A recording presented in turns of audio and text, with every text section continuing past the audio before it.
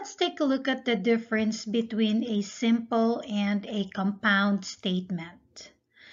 Simple statements convey one idea with no connecting words. So it is just simple, just only one idea and has no connecting words.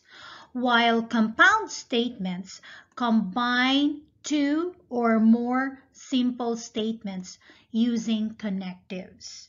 What are these connectives? These connectives are the words such as and, or, if, then, and if and only if. So these are the words that we use to combine or to join simple statements. So when you combine two or more simple statements using connectives, that would form a compound statement. Let's consider a compound statement joined by the word and. We call this the and statements. Now, if we have two statements that are symbolically written as P and Q, so we have, we consider the two simple statements P and Q, then the compound statement P and B is symbolized by P and this symbol here. This symbol is the symbol that we use to denote AND. The symbolized form for P and Q is P and then this statement here, Q. Now the compound statement formed by connecting statements with the word AND is called conjunction. And this is the symbol for AND. Now let's look at an example on how we can translate from English to symbolic form. Let P and Q represent the following simple statements. P represents the statement, it is after 5 p.m., while Q represents the statement, they are working. Now write each compound statement below in symbolic form. So for letter A, we have it is 5 p.m. and they are working. This statement, it is after 5 p.m. So this statement here is P and is represented by this symbol. They are working is the statement represented by Q. So therefore, this compound statement here is in symbolic form is represented by P and Q. After 5 p.m. is P. The word and is this symbol here. They are working is Q. Now for letter B, it is after 5 p.m. and they are not working. You have to take note of this word here, not. So not is a negation of the statement Q. So it is after 5 p.m. that is statement P and is represented by this symbol. They are not working is represented by not Q. So in symbolic form, it is P, this symbol here, not Q. Now the following statements here, these are the statements or English expression for P and Q. These statements here can be written symbolically in this form, P and Q.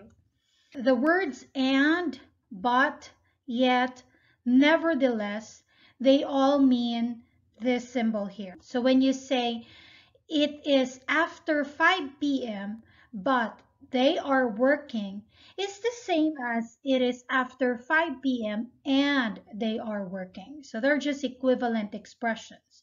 Another one, it is after 5 p.m. yet they are working. Nevertheless, this word nevertheless, it is after 5 p.m. Nevertheless, they are still working. These expressions mean P and Q. You could use this symbol to mean and, but, yet, nevertheless. We will talk about or, the or statements. The connective or can mean two different things. So consider the statement, I visited London or Paris. This statement can mean exclusive or, or inclusive or. Exclusive or, what does that mean? It means I visited London or Paris, but not both.